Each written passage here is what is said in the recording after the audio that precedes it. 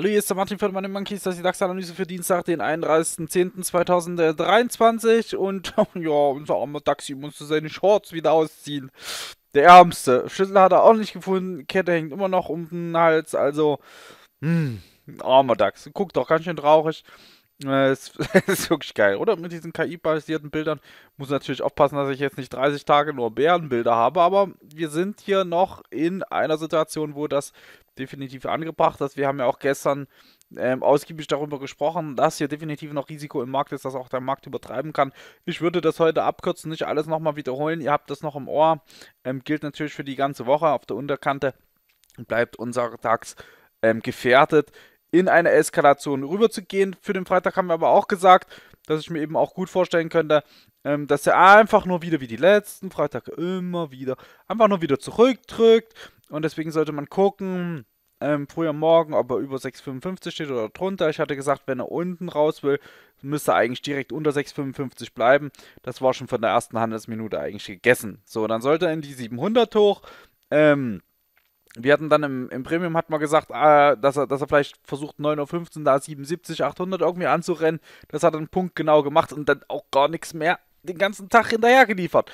Runter zu im Rücklauf sollte er bis 6,55, das hat er auch noch hingekriegt. Gut, das habt ihr jetzt so aus der Morgenanalyse nicht rausgehört, das kam dann über die, die Updates im Tag. Aber das hat er auch nicht geschafft, also nicht mal runter zu geschafft, das, das war relativ dürftig dann. Ja, der ganze Tag dann äh, eher range-mäßig zur Seite gegangen, hat aber definitiv sein Aufwärtsgap verteidigt. Das muss man ihm erstmal positiv anrechnen. Ne? Auch wenn er da über seine 9,15 Spritze nicht mehr drüber gekommen ist. Ähm, er ist auch nicht wirklich ins Tagesminus gegangen. Ja? Er hat das dann relativ gut wieder abgefangen gekriegt und sich stabilisiert. Und das darf ihm positiv gewertet werden. Also auch diesen Pfeil hier, den können wir durchaus nochmal mitnehmen. Sollte es unserem DAX nämlich gelingen, hier jetzt oben rauszulaufen, spreche da nichts dagegen, mal so Richtung 900, 940, 960 anzulaufen. Ähm, ja, müsste eigentlich bloß ja den Klack drüber machen über die 87, 800, 820, Stück für Stück rausnehmen. Ähm, und dann können wir ein bisschen, ein bisschen Anlauf nach oben. Das wäre definitiv möglich und definitiv noch erlaubt. Sollte uns aber abklackern und nochmal unter hier so 680 drunter rutschen, ähm, wäre dann die 655 eher aber eine 620 zu erwarten. Ja, dass er dann das Gap hier zumacht. Und wahrscheinlich kommt er von dort auch schon wieder nach oben. Ja. Passt aber auf, wenn er dann nach oben kommt, kippt er wahrscheinlich auch bloß wieder runter und setzt uns nochmal neues, tieferes Tief rein. Und dann kriegen wir bestimmt auch irgendwann bald die Verkeilung hier rein, weil rein vom psychologischen Bewegungsverhalten, was er ja zeigt, ähm, auch mit diesem Geschrubbe, da habe ich die letzten Tage schon immer wieder von gesprochen, dieses, dieses Geschiebe hier, was wir momentan haben, das haben wir hier an so vielen Tagen, da war das, hier war das, das ist auch sowas, das ist, das, das ist in einer Abwärtstrendbewegung an tiefst ungewöhnlich, also das wird bestimmt hier eine bullische Verkeilung auf irgendwelchen Ebenen bald ergeben. Und von daher wäre es ja ganz stimmig, wenn er jetzt hier runter macht. 620, kurze Erholung, dann nochmal neues, tieferes Tief. Vielleicht so Richtung 45, wobei das schon fast so tief ist, ha? Dann müsste eher drehen. Ähm, für die Verkeilung müsste eher drehen. Da müsste man nämlich jetzt hier eine Linie ziehen. Müsste man jetzt hier eine Linie ziehen und die so anlegen.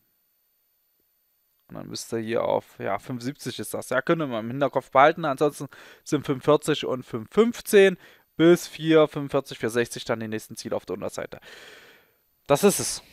Das ist es eigentlich schon. Mehr brauchen wir gar nicht besprechen. Wie gesagt, haben relativ viel gestern besprochen, was auch jetzt äh, für die nächsten Tage äh, gültig bleibt. Wir haben auch drüber gesprochen hier mit der Aufwärtstrendlinie, warum er eben hier so seitwärts schiebt, weil er eben an der Trendlinie hier rumarbeitet und, und, und festhängt einfach. Und das ist auch vollkommen okay. Er hat das sich probiert, wieder per Tagesschluss drüber zu heben. Ja, sei ihm gegönnt, sei erlaubt.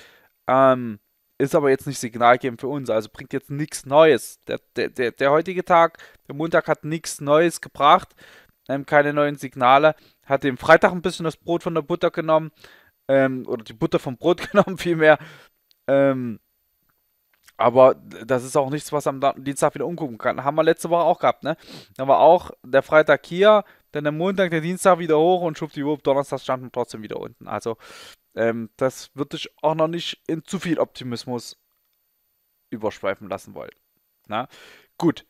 Ich denke, wir können es dabei belassen. Na, wie gesagt, oberhalb hier wird er ein bisschen, kriegt er schöne Aufwärtstendenz, dann auch Richtung 15.000 vielleicht nochmal. wenn er sich so weiter hochgearbeitet kriegt und jetzt eins, eins nach dem anderen nach oben umklackert. Aber wenn er wieder abkippt, dann lasst ihn sein neues Tief machen, dann ist das so. Ja, dann braucht man sich da noch nicht zu aggressiv und zu vehement dagegen stellen. Das, das bringt einem sonst auch bloß nichts.